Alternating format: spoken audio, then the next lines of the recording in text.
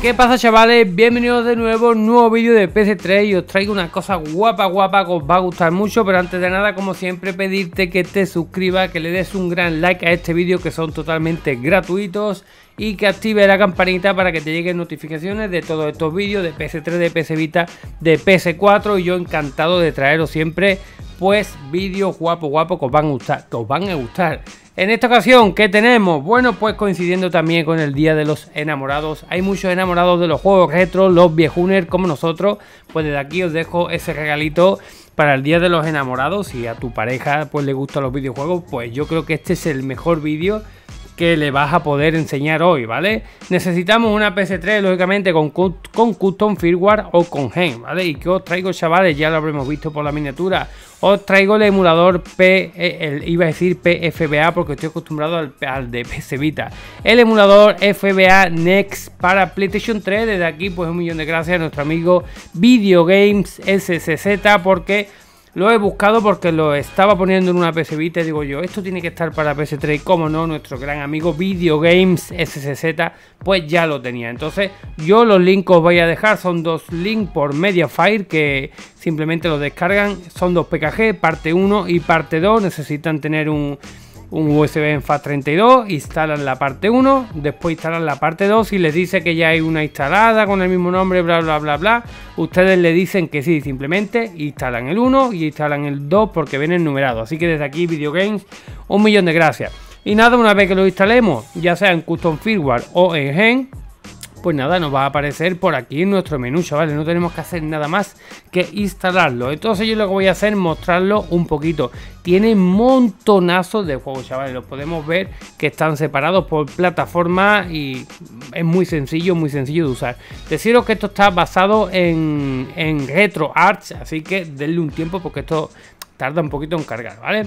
Bueno, aquí nosotros tenemos opciones, cargar FBA Neo Core, el Iris esto lo olvidamos, ¿vale? Nosotros simplemente queremos llegar y jugar.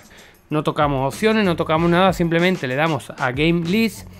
Y a ustedes, pues como es la primera vez que lo van a hacer, me están viendo a mí, pero a ustedes les va a salir por ahí una lista que está leyendo todos los juegos. Fijaros qué montón de juegos, son 7 gigas entre el menú, la aplicación, o sea, tiene montonazo de juegos. Por la parte aquí arriba, por la superior, pues tenemos el listado de juegos. Y arriba del todo, arriba del todo, importante, ¿vale? Quiero que os quede claro, pone disponible 2572. Perdido o missing 7327. Sistema, que es lo que nos importa a nosotros. Al system. Aquí estaremos viendo los juegos de todos los sistemas. Y filtrado 2572. Por el, lado derecho una pequeña preview de lo que viene siendo el juego. Simplemente si cambiamos pues no, con la cruceta, ¿vale? Aquí no anda los joysticks, no está configurado. Pues vamos a ir viendo una pequeña preview del juego. Y una, unas instrucciones muy sencillas. Cargar juegos, site info, run info, main menú, Switch System Filter, si le damos a L1 y R1, pues vamos a filtrar entre sistemas, ¿vale? Y si le damos R1, eh, L2 y R2, pues dentro del sistema vamos a pasar de página. Te lo explico. Ahora mismo estamos en Health System. Le damos a R1 y como vemos, arriba del todo, arriba del todo pone System, Custom System Filter. Le vamos a dar Filter, perdón, le damos otra vez. Capcom Mix. Le damos otra vez. Cave, Sistema Cave. Y dentro, pues los juegos que están cada uno.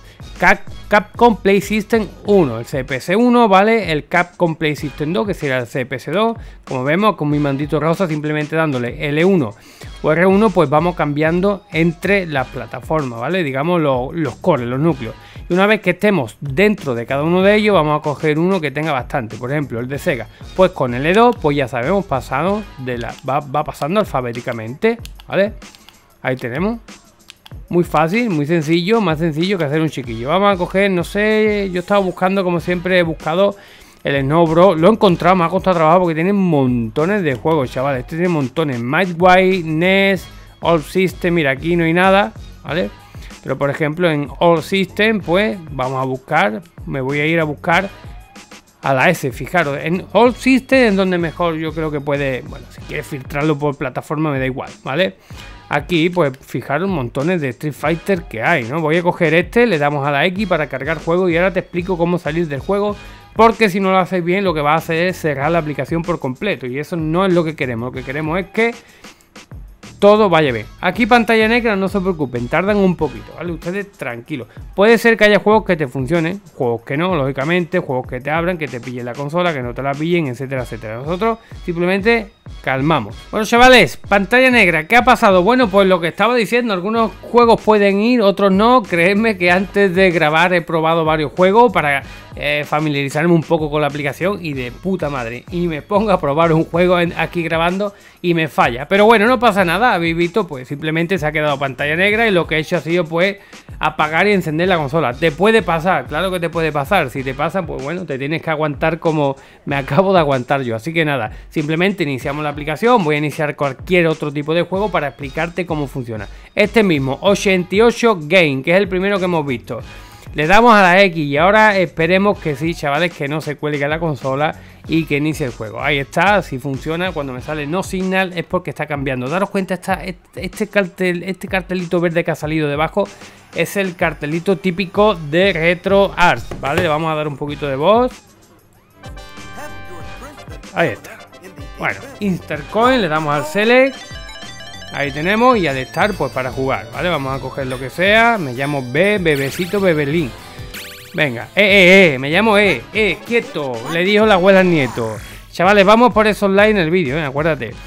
Bueno, pues nada, ya estamos jugando nosotros, Bim en nuestro juego favorito. Para salir de aquí, pues pulsamos los dos, eh, ¿vale? L3 y R3 al mismo tiempo. ¿Cuáles son los L3 y R3? Bueno, si no lo sabes, son los joysticks apretando hacia adentro, que también son R y L, ¿vale? Le damos para adentro. Una vez que estamos aquí, le damos atrás al círculo para que veamos este menú, ¿vale? Ojo, ¿eh? L3 más R3 y después le damos al círculo y vemos este menú. Y aquí le tenemos que dar a Return, ¿vale? Lo pone aquí, Return to FB Neo. Esto lo que hace es que nos devuelva el menú. Si le das a salir de RetroArts en el menú anterior, lo que hace es que te cierra la aplicación por completo. Bueno, chavales, vamos a probar otro. Cadillac and Dinosaurios World. Este mismo, ya os digo, algunos pueden funcionar, otros no. Pues eso ya ustedes van probando y, bueno, si a alguno le falla, pues simplemente con, con apuntarlo o no iniciarlo nuevamente pues tienen bastante, ¿vale? Ya bastante tenemos que tenemos esta maravilla. Pues aquí lo mismo, ¿vale? Le damos al select Metemos crédito, elegimos jugador y vamos que nos vamos. Vamos a quitar un poquito de volumen. Ahí está. Venga, vamos a liarnos a tortas. Ahí está. Recordad que no andar yo, ¿eh? ¿eh? Te reviento. Ahí está.